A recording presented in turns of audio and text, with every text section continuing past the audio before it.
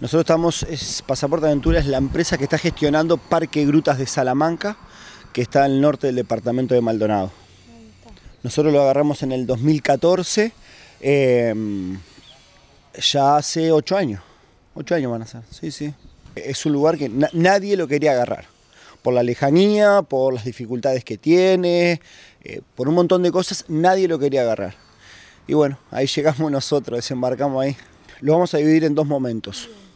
Un momento lo vamos a dividir desde el 2014 hasta el 2019, que fue ahí es donde empieza todo el marañaje porque había un, un incumplimiento de licitación que nosotros le decíamos a la Intendencia que faltaban ciertas cosas, como había un pozo negro que estaba abajo de un parador. O sea, si vos usuario vas a comer, se te desborda el pozo negro, te salía eh, la materia fecal de abajo de tu mesa, por ejemplo. Así un montón de cosas. Em, nosotros hacíamos énfasis en todo eso, no podíamos trabajar porque el parador estaba cerrado, porque nadie lo habilitaba. Este, entonces le empezamos a comunicar a la dirección de turismo, mira qué, pasa esto, esto, esto, esto. Ah, mira, no sabía nada, está. Al tiempo nos exigían pagar el canon y la luz. Y nosotros le decíamos, che, pero pará, no estoy trabajando, no tengo ingresos, ¿cómo querés que te pague? Y otra cosa, le decimos, Luis, vos me exigís que yo te pague la luz, pero hay un contador solo.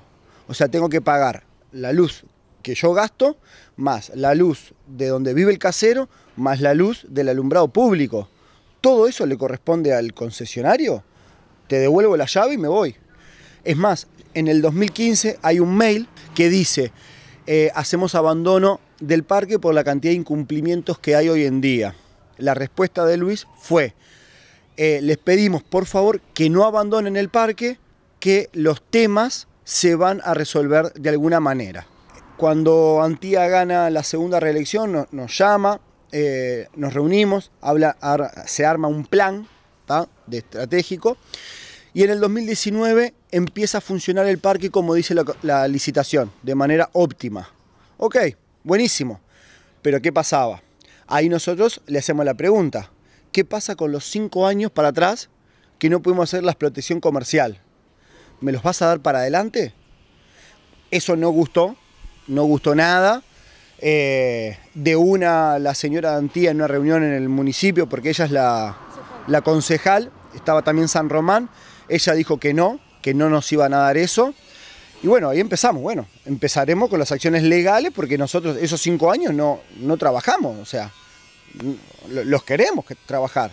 Y este año eh, Martín Laventure, con el abogado de la Intendencia, nuestro abogado y, yo, lo declaran de interés político a ese lugar. Y ahí empezó todo.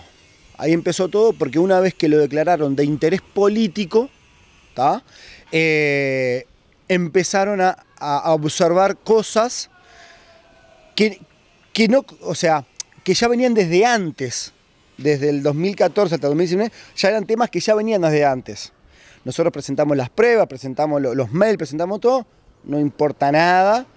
Eh, la intendencia parece una locomotora que se lo quiere quedar como sea.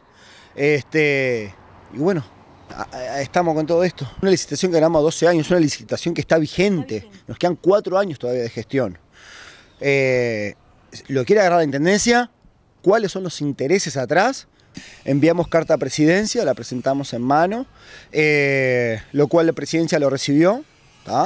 Nos respondió el correo electrónico, ¿sí? Homero, el secretario de la Intendencia ahí, del presidente, eh, nos contestó de que, bueno, se iban a contactar con la Intendencia de Maldonado para ver en qué estaba todo. Y bueno, todavía estamos esperando a ver qué, qué resolución va, se va a tomar con todo eso.